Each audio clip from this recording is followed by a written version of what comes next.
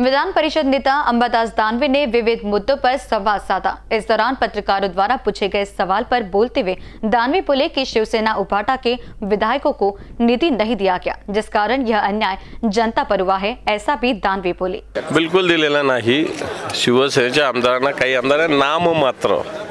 परंतु जसं काँग्रेसच्या तरी चार वरिष्ठ नेत्यांना दिलं असं परंतु शिवसेनेच्या तर आमच्या कोणत्याच लोकांना कोणत्याच प्रकारचा निधी दिलेला नाही. हा जनतेवरचा अन्याय आहे. आमदारावरचा अन्याय नाही हा. हा आम्ही ज्या भागातून लोकप्रतिनिधित्व करतो त्या भागातील जनतेवरचा हा अन्याय आहे. त्या भागातील सगळ्या पक्षाला मानणारे लोक काही ना काही प्रमाणात असतात.